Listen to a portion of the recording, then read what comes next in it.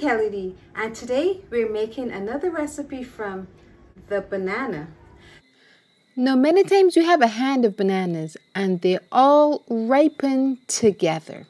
So what do you do when you have a whole set of bananas that are just getting ripe and becoming overripe?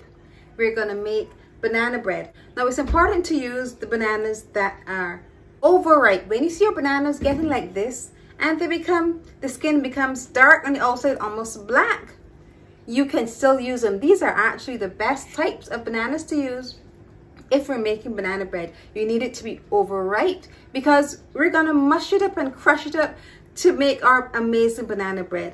So let's go over the ingredients. We have four to five overripe bananas, two cups of all-purpose flour, one and a half cups of sugar. I'm using brown sugar today, but you can use white sugar if you have that. Three eggs at room temperature, half pound of softened butter. It's important that the butter is soft so it's easier when we're creaming it. Just to add another level of flavor, we're gonna add walnuts to our banana bread. So we're gonna use one cup of walnuts and our spices.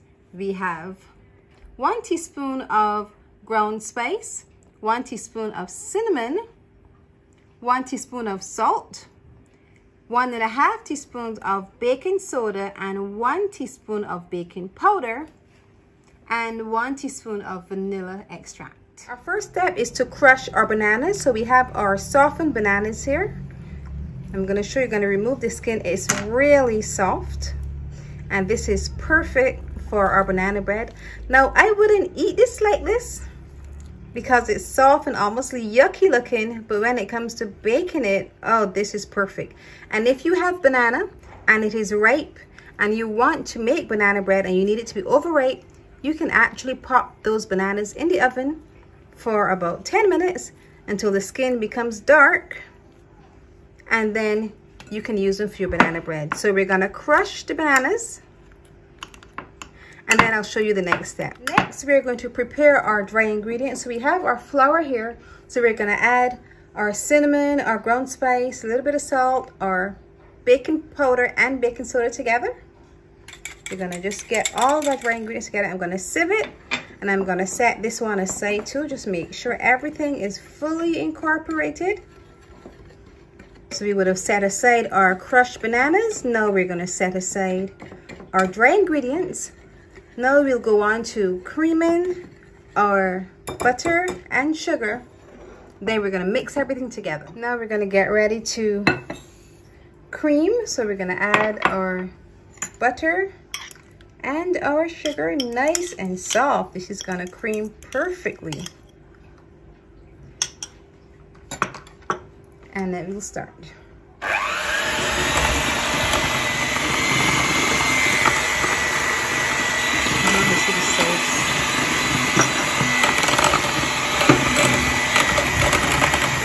We're gonna add our eggs. So to the last one. Now I always crack the eggs in a separate container before I add it to the others, just to be sure that the eggs are okay. Now we're gonna add them one by one to our mixture and we're gonna continue to cream.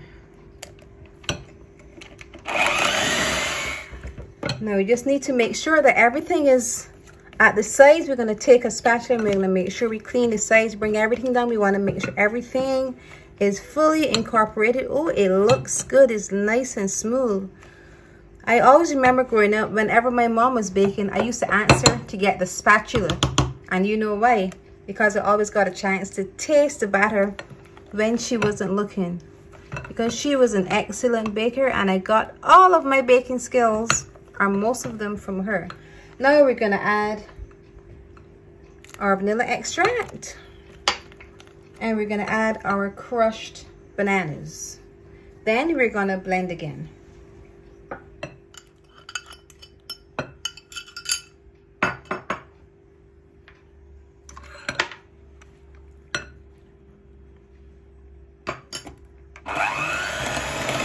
And finally, we're gonna add our walnuts.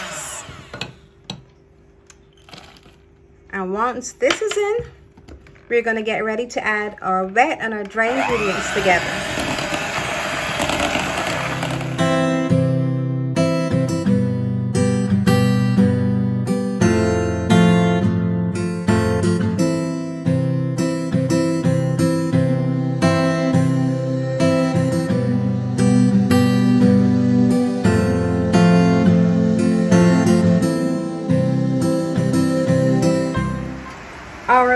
It is finished, I would have folded all of the flour in to make sure everything is fully incorporated. Gave it a little taste, just like I did as a little girl, and it tastes great. No, I added, I'm gonna add it to a greased low pan. And we're gonna bake it for about one hour at 250 degrees. Now we're gonna pop our breads into the oven. We were able to get two loaf pans and bake for one hour or until the top is nice and golden brown.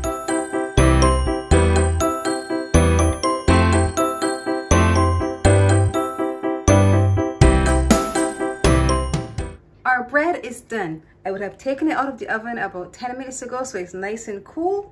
And first, let me say it smells amazing you can look and see it is nice and soft to the touch. Now, the best part is to taste. Now, we're gonna get inside and see how it looks.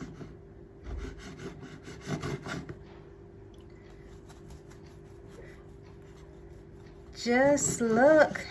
You, you can see the nuts. You can see how soft and moist it is. It's just time to taste. Ooh, still a little hot.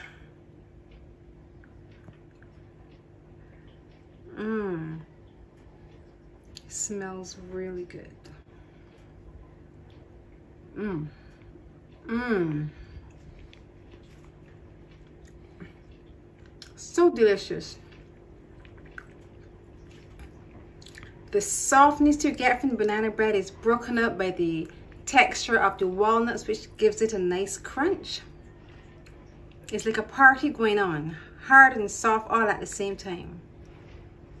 If you have any leftover overripe bananas, banana bread. Now you need to try it.